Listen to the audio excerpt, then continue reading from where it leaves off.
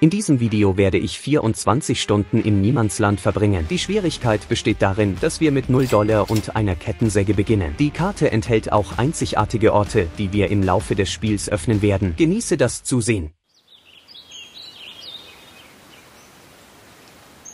Nach dem Aufwachen am Morgen bin ich bereit, mich an die Arbeit zu machen. Wir haben ein großes Baumstamm, das ich zersägen und verkaufen möchte. So können wir unser erstes Geld verdienen und Ausrüstung mieten, um auf unserem kleinen Gebiet zu arbeiten.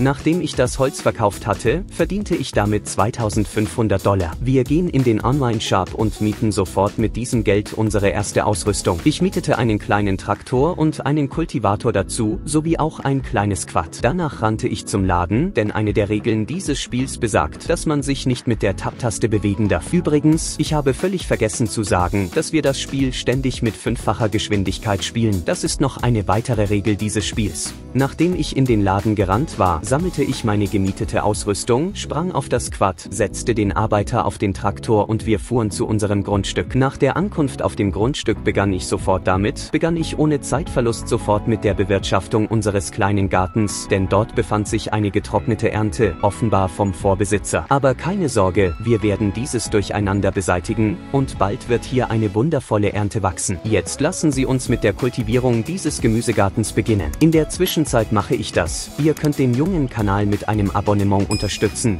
damit unser Kanal floriert.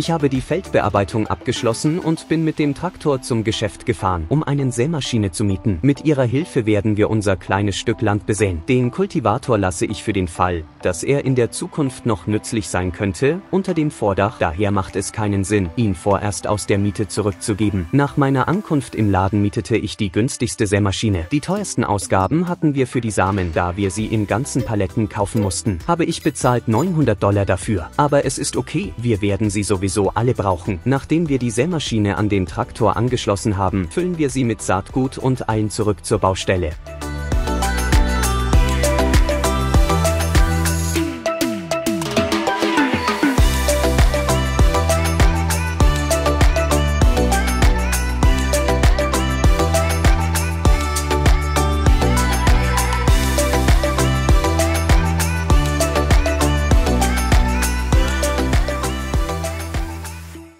Als wir ankamen, mussten wir uns vor Beginn der Aussaat mit den Preisen für die Feldfrüchte vertraut machen. Ich wollte die teuerste Pflanze pflanzen, damit ich nach der Ernte einen guten Gewinn erzielen konnte. Ich wählte Sojabohnen aus, die sich als die teuersten erwiesen. Nachdem ich mich für die Kultur entschieden hatte, konnten wir mit der Aussaat des Gartens beginnen. Der Prozess begann. Die von uns gemietete Sämaschine, obwohl sie die günstigste war, bewältigte ihre Arbeit hervorragend. Ich war insgesamt vollkommen zufrieden damit. Ein Nachteil bestand darin, dass das Säen aufgrund von Rückständen auf dem dem Feld ziemlich schwierig war, was es schwierig machte, zu erkennen, wo bereits gesät wurde und wo nicht. Glücklicherweise hatte die Sämaschine jedoch Marker, die wir verwenden mussten.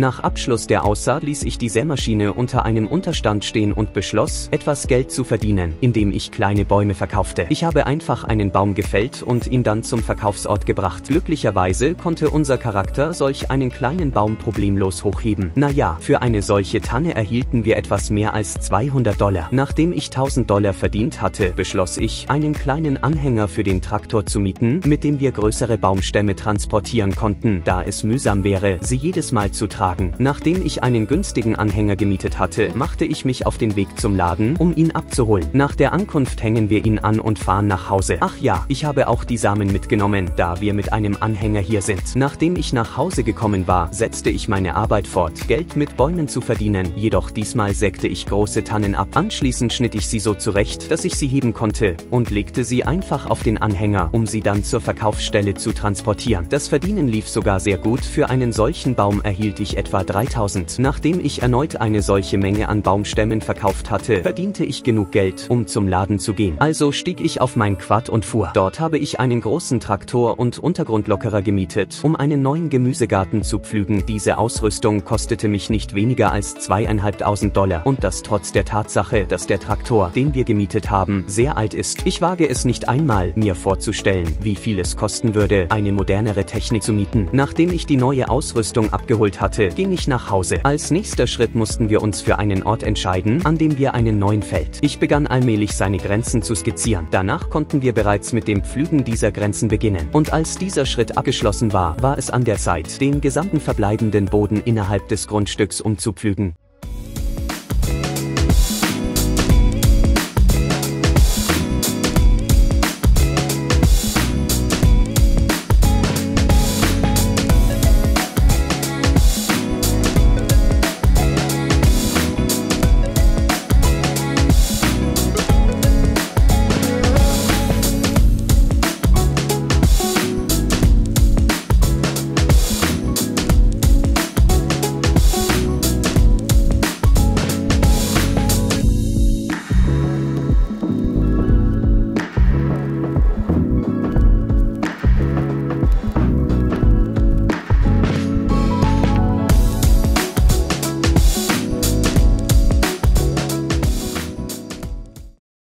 Ende war es natürlich notwendig, alle Unregelmäßigkeiten zu korrigieren, die wir hatten. Nun, ich dachte mir, da unser Grundstück sich erweitert hat, entfernte ich den Zaun in der Nähe unseres Hauses. Anstelle von ihm ich bereits einen neuen Zaun an der Grenze errichtet, wo unser neues Feld beginnt. Ich habe den Traktor mit dem Untergrundlockerer zur Rückgabe in den Laden gebracht, da ich in naher Zukunft auf keinen Fall neue Felder anlegen möchte. Für den Anfang wird dies ausreichen. Als ich ankam, gab ich die Ausrüstung zurück und rannte zurück zu unserem Haus, weil wir noch einen Job haben haben. Nachdem ich nach Hause zurückgekehrt war, setzte ich meine Arbeit im Wald fort.